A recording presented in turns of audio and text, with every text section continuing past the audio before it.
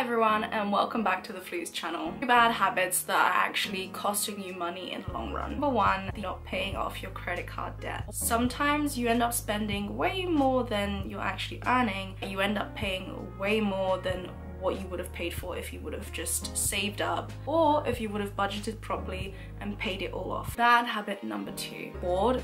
The internet is there all the time, online shopping is there all the time. They say the same thing about not going grocery shopping when you're hungry because you end up buying things that you wouldn't have bought otherwise. So instead of spending money just because you have nothing else to do, try and do something productive. Shopping for status. Is there a really trendy bag that all of your friends have? You end up with something that you wouldn't have purchased without the quote unquote hype around it. Think about if that's really what you want. Will you use it in a month's time or two months time? Thank you for watching and we'll see you next time.